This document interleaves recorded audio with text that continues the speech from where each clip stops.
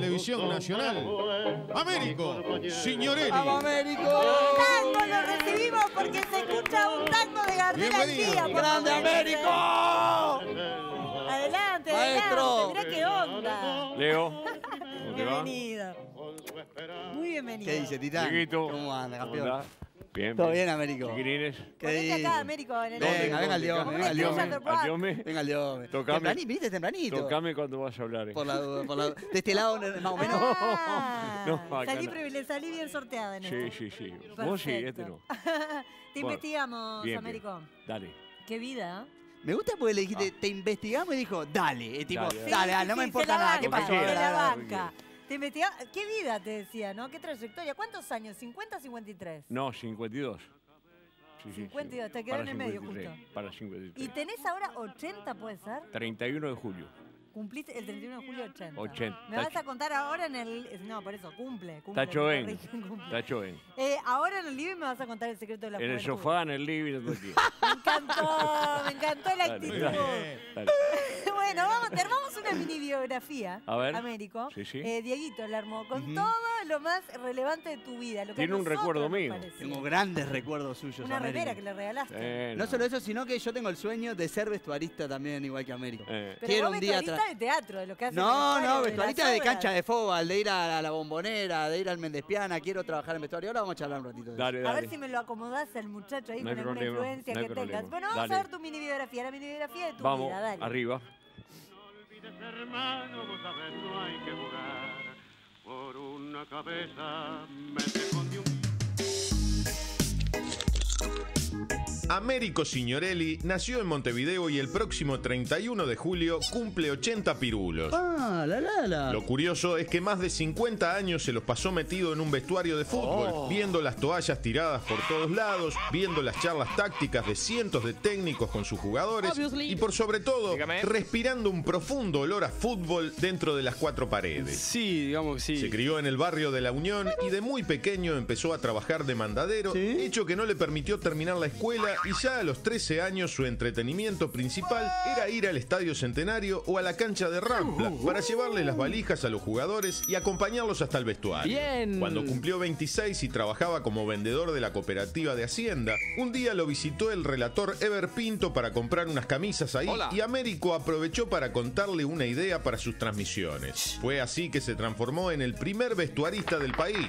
Pero también se destacó como vendedor, principalmente en la Fiat, teniendo como jefe a Eugenio Figueredo, en donde Américo, pese a no tener la más mínima idea sobre autos, cuando algún comprador lo consultaba sobre algunos detalles que desconocía, aprovechaba de su apodo y se hacía el sordo, mote que se ganó a raíz de una lesión en el tímpano de uno de sus oídos. En los vestuarios no le quedó ninguna nota por hacer, ya que entrevistó desde el Mono Gambetta al Cotó Ramírez, pasando por Obdulio Varela y hasta Echafín, ¡Taxi! y hasta burló los controles de seguridad del Maracaná en 1994 y se metió disfrazado de limpiador con un gorro y un lampazo para acceder a la cancha. Pero también fue el único en llevar a un canal de televisión un caballo con su jockey, luego de haber ganado el premio Ramírez en Maroña.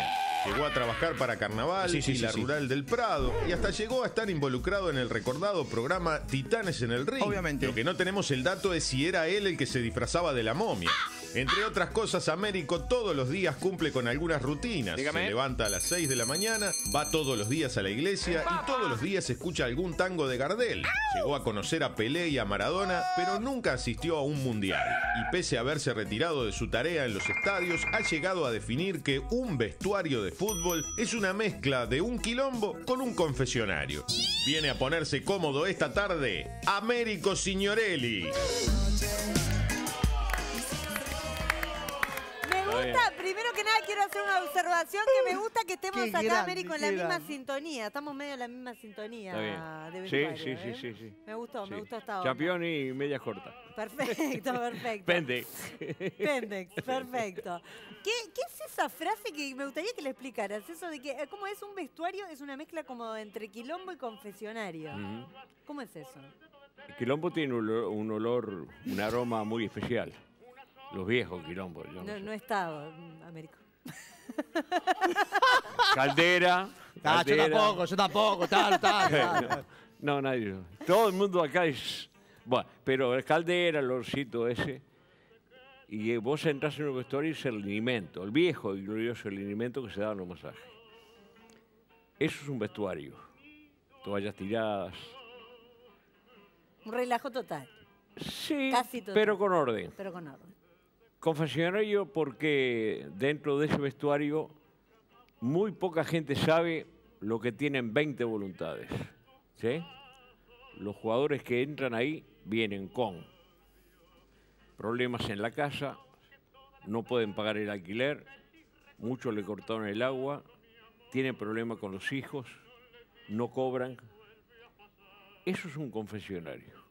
Que muy poca gente en este país contado con los dedos de la mano, yo pongo, saco los equipier, confesores, los curas, los que te, te toman la confesión, los masajistas que te dan el masaje, te toman la confesión. Los jugadores ju- hablan con todos ellos. Sí, tienen más afinidad con ellos, le cuentan la vida, lo que le pasa, porque ellos son psicólogos de la vida, son grado 5 de la calle, esos que te nombré.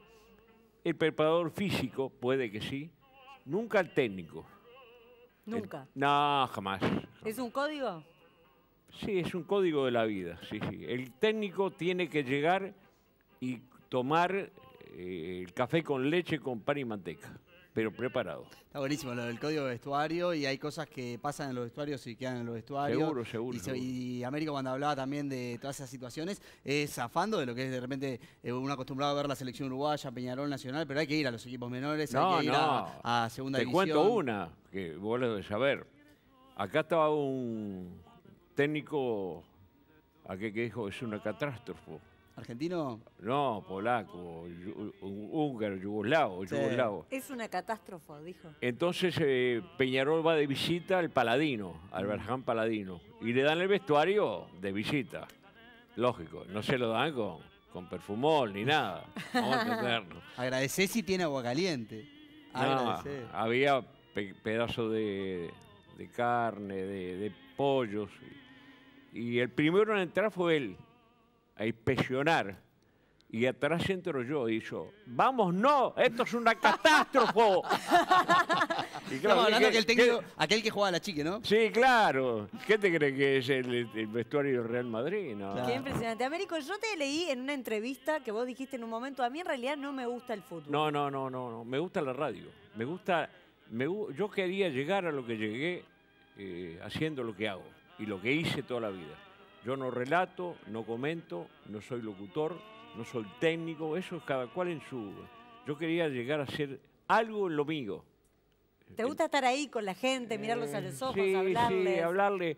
No es lo mismo una nota, el de arriba al de abajo, que vos estando mirándole la cara al tipo y, y, y después este, me pasaron cosas en la vida que me enseñaron cómo se camina. Me interesó mucho tu historia porque vos decís siempre que te criaste en la calle. Eh. Y que la calle es como vivir en la universidad. Yo no sirvo para estar enjaulado. Los pájaros son para estar al aire, al aire libre. ¿Y qué aprendiste Mi en la calle? señora sabe que yo no, yo en mi casa no puedo estar, tengo que estar en la calle. Respirar, eh, tengo claustrofobia. Entonces yo quiero libertad, calle. ¿Se nota la, la diferencia entre la gente Ay, que se crió mi en la no? querido, mi Dios querido, mi Dios- El Papa le dijo a los curas, salgan de la iglesia, salgan a la calle. Da la misa en la calle, en la vereda. Igual te, eh, tu laburo como vendedor te tenía de repente un poco encerrado más en lo que es un horario laboral. Sí, pero Eh, quería rajar. Querías rajar. y Sí, bueno, y sí. encontraste el momento preciso para rajar, según contaba la, la mini video que habíamos armado, que vos vendiendo camisas llegás a este relator y por casualidad Yo entro a la cooperativa de llevás a- Hacienda, Ujú. eh, mi- un primo hermano que trabajaba en la tesorería general me, me lleva a la, a la cooperativa y el único, la única chance que tenía era entrar al limpiador o acomodador. Trabajaba de 6 de la mañana a 2 de la tarde. Y en la cooperativa de Hacienda fui jalando, jalando ahí conocí a mi, a mi señora, mi novia, y ahí fui jalando hasta que llegué a vendedor, ¿verdad? Y el día, y yo, claro, eh, el gerente de la cooperativa, Walter Lavallejas Sarri, que hizo dos estadios y era dirigente na- de Nacional, y la novia era Susana Oldoine, que era nadadora en el turno y yo iba en el turno a nadar también. Entonces yo quería, le dije a Susana que quería trabajar en la radio, y el padre de ella era Adolfo Oldoine, Ol, CX24 La Voz del Aire, Tierra de Campeones. Dalton, Penino, Mungay, Oldoine, Cacho Vázquez, este, Duilio, eh, Pedro Sea, eh, Mariscal Nasasi, Gradín. No, había, no había luneta para sentarse, estaba todo alrededor. Figueredo estaba. Y entonces le pedí un favor que me diera una mano y la única chance que tenía, eh, antes de las inundaciones o enseguida después de las inundaciones, Palacio Peñarol, Caradagian. Yo iba a los vestuarios, le pedía a Caradagian que me diera la pelea que era y ganaba él. Estaba todo, todo tongo, ¿no? Todo arreglado. Papirri, no, no juega más, no trabaja más. Dale, La- vamos, la- vamos a ¿Quién era- romper. quién era la momia? ¿Quién era? todo, Dale, ¿quién era? todo, ¿Quién la momia, el de la barra de hielo, la, la- la mujer de negro, todo, todo era un, un circo. Y yo venía y le daba el doine, don Adolfo, gana, gana Caradagian. Y me iba para a ver qué. Y, don Adolfo dice, y como. Y, ta, y, y ahí se terminó lo mío. Nunca más me tocó. Pero en el 48 yo había hablado con Jacinto la huelga en la cancha, cancha Canillita y le dije que quería, que quería colaborar con él. Y llegaste. Y, Divino, 14, claro, Cancho Canilla.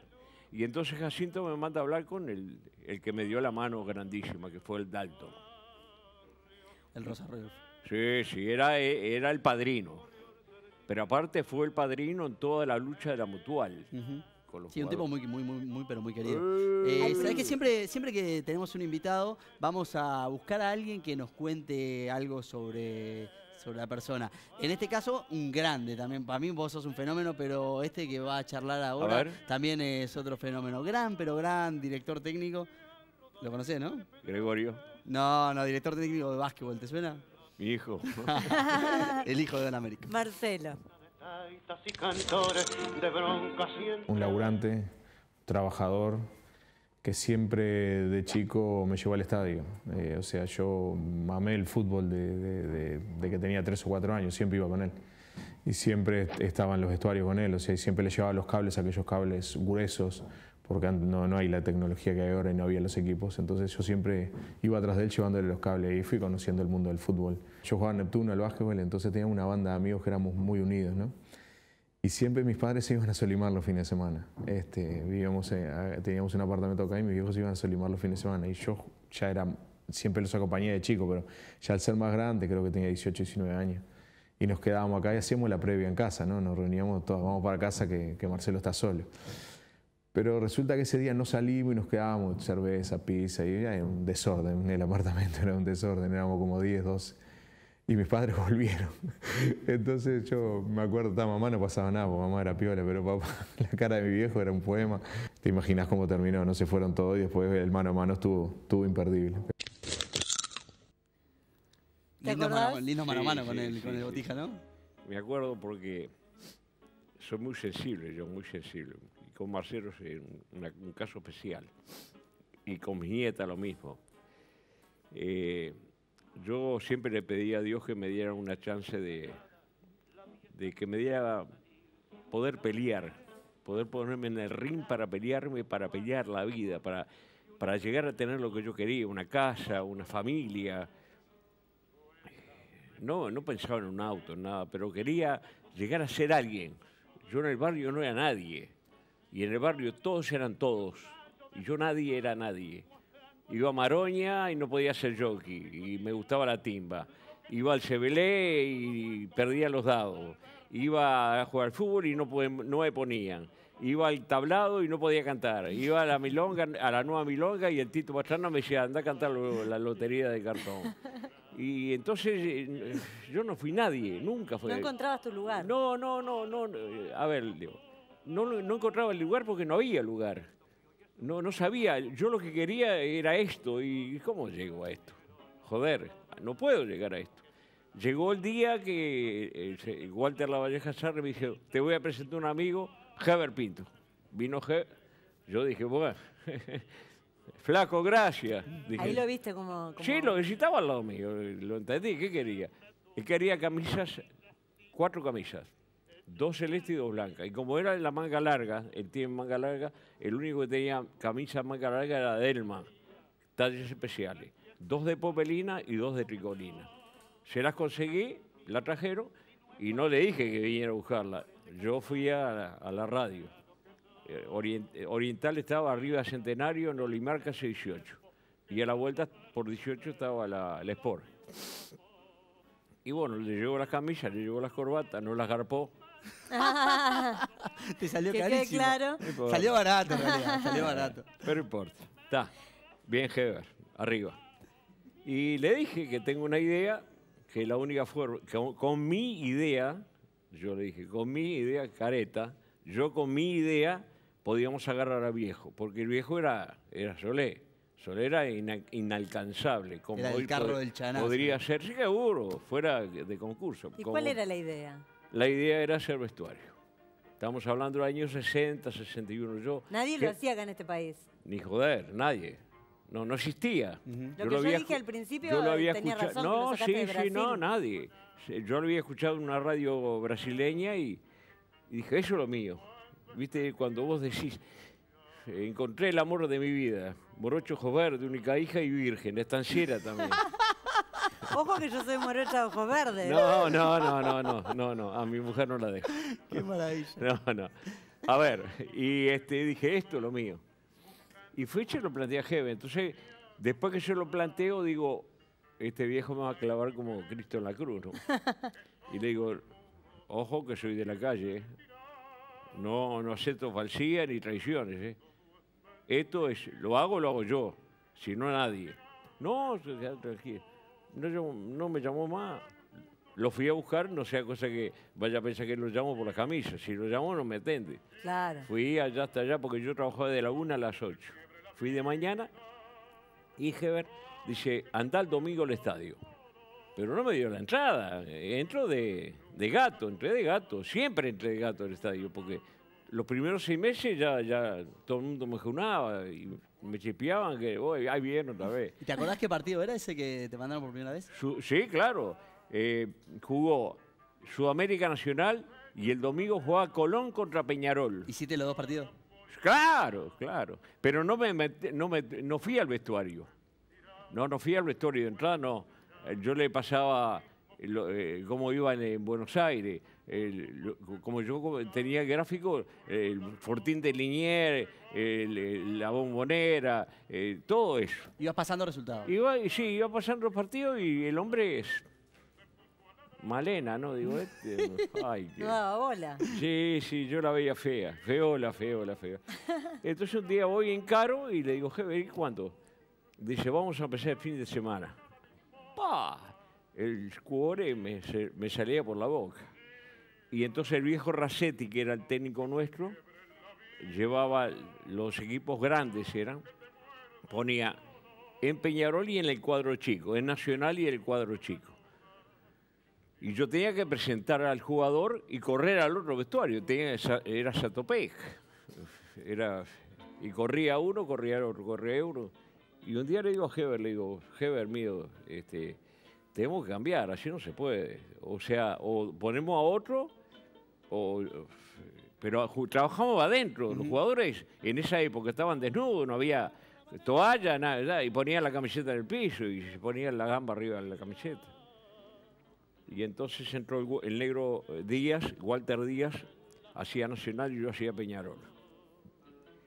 Y, y fui agarrando notoriedad hasta que un día famoso, Heber me dice que tenía que hablar conmigo seriamente. Ah, ¿Y qué te dijo? como gallo dormido, me ca- en los pantalones me dice. Y este y bueno, fui, fui de mañana, temblaba, temblaba. Y dice, mira, sordo, con una condición, de que no te enojes, porque ya era yo me sentí importante, yo me sentí importante, porque ya los jugadores de al lado, Ya el, te Ti- conocían, el claro. Tito, claro, la época de oro, Peñarol, era 60. Y yo ya estaba, ¿viste? Porque yo, golpeaba la puerta y pedía permiso, siempre con mucha educación. Permiso, ¿se puede pasar? Y entonces me dejaban pasar los jugadores y llamaba a Pedro, llamaba a Tito. Y Heber me dice que no hablara más en inglés. O sea, que no dijera ni halves, ni centre halves, ni wing, ni centre forward, ni goalkeeper. Increíble. A partir de este momento decís, atento Heber, en la 12, Néstor Moncalvo. Y está. Sabemos, sabemos que uno de, los momentos más emocionantes de tu trayectoria fue cuando tuviste que entrevistar además a tu propio hijo que salió campeón en básquetbol. Y ella- Quedó una pregunta pendiente que Eh. tiene para vos. Vamos a ver qué te dice. que en el alma marca un dolor.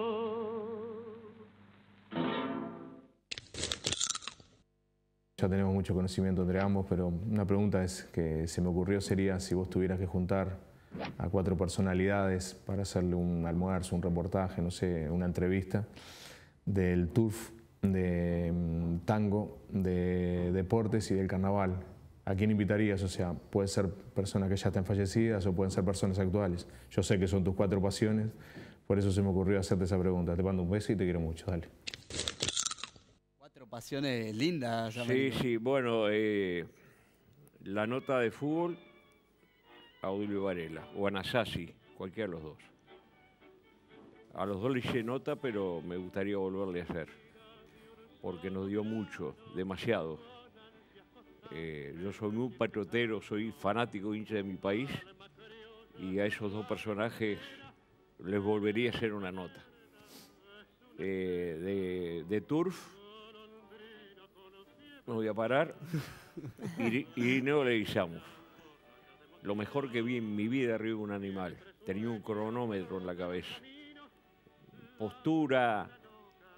eh, eh, sabía de. eh, no pegaba. hombre de derecha, hombre de zurda. corría de atrás, corría de adelante, corría en pasto, corría en césped, en lo que sea, en arena fue lo más grande que vi en mi vida en un país donde hubieron muchos, muchos jockeys mejor que en Argentina. Los de acá son mejor que en Argentina. En carnaval, hacerle una nota para mí al mejor letrista de carnaval, Gamero, el hombre de la síntesis. Se lo había hecho y se lo volvería a hacer, porque él hizo el- el himno a Peñarol, siete letras que lo canta la mejor voz de carnaval de toda la historia, que fue Molina. ¿Y qué me, me queda? Era jockey, carnaval, fútbol y la cuarta... eh, ¿Tango era? Tango. Tango. Ah, bueno. Y el tango, Carlito, me tengo que parar y quedarme parado, así que me Cada quedo día canta sentado. mejor. Sí, sí, sí. Es lo único que no- le pude hacer una nota, porque yo nací en el 34, él murió en el 35, pero como Carlos, Y nadie. viste que te recibimos con un tango. Ahora Sí, sí, te sí. vamos a recibir, te pedimos disculpas por esto, pero hay un periodista, Ramiro Espinosa, Sí, si tuvieses que elegir una tuna te íbamos a preguntar, pero tenemos una sola. Sí, Entonces una no te sola, es dar Ramiro. Espinosa que te quiere hacer una pregunta. ¿Qué tal? ¿Qué tal, Américo? Aquí Ramiro Espinosa. ¿Qué hace Ramiro? ¿Qué haces, Américo? Usted realmente es un, lo estuve escuchando en la entrevista, es un señor, Eli.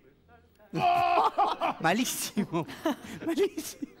Américo, eh, lo que le quería preguntar, eh, con tantos años de vestuario que usted tiene, le quiero preguntar, y le voy a dar tres opciones. ¿Cuál es el peor error que puede cometer un periodista en los vestuarios? Y van las tres opciones. Uno, felicitar a un jugador por su desempeño y abrazarlo antes de que se bañe. Eh, dos, sacar fotos en las duchas. Se trata de un momento de intimidad y nadie quiere conocer los secretos de los jugadores, por más minúsculos que sean. No, no. O tres, eh, agacharse a buscar el jabón No, cuando un jugador se no, se veía venir, Ramiro. Ramiro, por Se veía venir, Ramiro. No. Yo pensé, no va a ser tan irrespetuoso. Bueno, te voy a decir de la tercera hasta la primera. A ver, a ver. En la espalda ni una mochila. Perfecto, muy bien, muy bien, muy bien. ¿Está? Esto clarísimo. Lo- Un día lo dije en Guacu Guacu. O sea, no me agacho ante que. ni- ni- primero el balazo, después me agacho. Perfecto, pasá directamente a la segunda que vamos todos presos. La segunda, eh, paso. Y la primera es la que más me interesa, el, el vestuario, como es una cosa íntima, de familia. Las cosas de la familia siempre quedan en la casa. Lo que Perfecto, pasa dentro de un vestuario, Queda ahí, queda ahí. jugador y yo, nada más. Perfecto, Me lo perfecto. llevo a la tumba. Muy bien, eh, muchas gracias, Américo. Este, Ha sido usted muy amable, nos estaremos viendo por ahí. Chao. Chau, Gracias, Espinosa. Qué amable que se despidió. Me, me dio que desconfiar. Sí, sí. Muy bien, Américo. Bueno, tengo la pregunta de la gente por acá a través de las redes sociales. dale. Manuel te la hace. Te da dos opciones. Dale. Mira vos. Dice, conozco muchas anécdotas de él, tuyas, pero quiero que elija una de estas dos para contar. Una es cuando se coló en Maracaná. Sí. Y la otra es la pelea de Montero Castillo y Ringo Bonavena. no. ¿Cuál No, elegís? no, La de Ringo, Ringo. Dale. Yo este, leía el gráfico y conocía a todos, los conocía a todos, y los programas argentinos. Le- Doña Dominga, que era la madre eh, de Ringo, tenía un programa que se llamaba Los Ravioles de Doña Dominga, los domingos mañana en televisión. Y entonces jugaba Huracán de de Patricios contra Nacional. Vestuario locatario, yo lo hice porque venía Huracán. Entonces estaba haciendo, eh, esperando una nota, bichando a ver si venía alguien. Y lo veo entrar a Ringo, traje, traje príncipe de Gales con un toscano así, parecía un bomberito. Y lo veo y digo, este es mío. Y le digo, encantado, Ringo, Américo Signorelli. Porque aparte había que estar en, el- en el, Claro. en el pipeo para robar la nota. Pero yo tenía todo el mundo arreglado, portero, policía, la, eh, la, la ambulancia Martinelli, el, el chofer era el papá de Rodrigo Romano. Y me avisaba, mirá que entra fulano. Y entra el Ringo y le digo, "Eh, mire, mira Ringo, yo soy Américo Signorelli, trabajo con Heber Pinto y me gustaría, sí, sí, cómo no. Le- se pone auriculares y fumaba y ch- chaleco, eh, pie plano, 45. Y allá en el otro vestuario estaba eh, Heber hablando con Montero Castillo. Dice, Mudo, mirá que está el Toscano Rento, ¿sabés qué? Lleva la pelota atada. Y sabés cómo, cómo, cómo, cómo te vas a ver en el medio campo con ese fenómeno. No importa, dice Heber, que pelota y todo va para afuera de la cancha. Y me dice Ringo, ¿quién es esa pinta? ¿Quién es esa pinta? Digo, Montero Castillo. Dame con él, prende el micrófono. Vos, fiera, ¿qué pasa contigo? ¿Y casi se dan? Nada de presentarlo ni nada. Vos, fiera, ¿qué pasa contigo? Le dice. Uh. Pa, y, este- y el otro dice, ¿quién es? ¿Qué? Heber decía, ¿quién es? No, habla Ringo Bonavena acá, papá. Y dice, yo voy para el vestuario y te voy a dar, pégale a Rendo. Ah, Ya voy para ahí, ¿eh? Y quedó bárbaro. Una nota. Qué. Pero era- hay, hay dos tipos de, de- de vestuaristas, me parece a mí. Este, eh, los que de repente ponen el micrófono y le dicen, te pongo en contacto con, Sí. o el que hace la nota, ¿no? Es- Vos como que marcaste un poco de tendencia en Sí, eso, sí, la en- nota en la tenés que encarar hacer la vos. nota. La nota la, la tenés que hacer vos. Vos tenés que hacer la nota. Eh, sea una pregunta o sean dos preguntas, vos tenés que hacerla. Porque vos le ves los ojos a la persona. Vos le viste que el tipo te dio una mano, viene sin secarse, eh, se vino antes de bañarse. Vos ves todo lo que hace el tipo, que le chorea el champú al otro para agarrar el champú que no. O sea, vos ves el sacrificio que hace esa persona. Y el de arriba no sabe nada, no, duerme la siesta.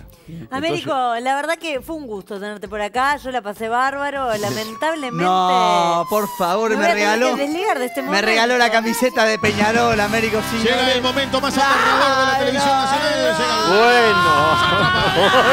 Bueno, con su momento incómodo. ¡No puedo! Con su pregunta incómoda. Sí, sí, sí, Sí, siempre sí, puede, sí, siempre, puedo al final. Eh, más allá que te debo una camiseta de Peñarol, eh, tengo que hacerlo, Américo. Vamos a charlar de una nota muy particular que hiciste en un partido en el medio de la cancha. Eh, estaba jugando Nacional, todos recordamos mucho a Deli Valdés por varias cosas. eh. Terrible jugador, los goles que hacía de chilena. Todavía me acuerdo del gol de Deli Valdés que dejó desparramado a, a todos los jugadores de Peñarol en el área, al Popi Flores no- nos abotonó. Y Américo agarró a Deli Valdés. Y le empezó a hacer la nota, le empezó a hacer la nota. Todos lo recordamos por, por- por pequeños detalles a Deli Valdés. No solamente por los cabezazos, por las chilenas, sino porque también tenía una particularidad. Signorelli termina de hacerle la nota y le dice, muchas gracias, este, Julio, por, por Julio César, por la nota. Y le dice, lo que pasa es que yo tengo el diente de plata, soy Jorge, que era el hermano mellizo, pero no, no vamos a hablar de eso. Eso no, de Ah, es que eran iguales los de Livalde, eran idénticos. De lo que sí vamos a charlar es de algo que sucedió en un partido entre Danubio y Liverpool. Se armó relajo a la salida estaba picado y sale Signorelli y queda en el medio de una escaramuza donde había muchos policías, caballos y quedó apretado realmente. Fue un momento de, de muchísima tensión. Él vivía en el barrio de la Unión, Sí. en la vieja Unión, y tenía que volver a su casa después de ese momento difícil que había vivido a la salida de Sí, la cancha. sí. Eh, supongo que no hubo ningún problema y te No, acordás que te tomaste un ómnibus y, No, y te no. fuiste No, para no. tu casa, ¿no, señor no. Eli? No, no, no, no, no, no. Fue gravísimo. Vi la, la vi, la vi, la vi, la, vi la, la muerte porque arrancaban de cuajo los los eh, los piques de los de los, eh, los- donde se pone el teléfono. Sí. Los arrancaban las, las hinchadas y con eso le pegaban a los, a los milicos los caballos y venían Bataola mal. y yo la vi venir. La- y yo estaba encerrado, no, no salía ni para allá ni para acá, no, no podía. Y me hice encima. Me hice encima. ¿Cómo? Para- Sí, sí, no, sí, no, no, no me quedó claro. No, ¿Cómo, no, cómo? no, no, me hice encima, sí, sí. El negro, el, el negro que era ministro de deporte, Lesca- Lasca- Lescano, Lescano. Sí, sí, lo dice en el libro, me hice encima, me hice todo, todo, todo. Pará, pero del, del 1 o del 2, señor Eli. De- del 1 y del 2. seis, del y seis. el 3 me parece. Tremendo. No, no, me hice encima. ¿Y, y cómo, cómo saliste de esa situación? Y me quedé paradito como nene recién nacido. Y después me tuve que ir caminando de casa hasta el avión, porque no iba a ir en el bondi. Y claro. Y mis amigos se habían ido ya en camiones y todo, y yo quedé ahí. Si venía, venía. Paradito, Sí, sí. durito ahí. Y como, como dije, Justamente. sí, sí, sí. La vi, la vi, la vi de al lado. sí. Américo, ha sido un gusto conocerte, tenerte por acá en el Living de Ponente. ¿Cómo tenemos este regalo para vos? La mascota del Esto, programa esto para que sí, te lo sí, esto, mi señora sabe esto, porque ella le gustan estas cosas y yo le dije, mira, tengo una comida de noche. Hoy, ahora voy a una, voy a una comida, lo, lo de defensor del 76, del maestro, un monstruo. que- Y le digo, ¿qué hago? ¿La llevo en el bolsillo? Porque la comida no habría... Sí, entonces, quédate tranquila que te la llevo. Está- Llega, llega a casa, está, llega a casa. casa.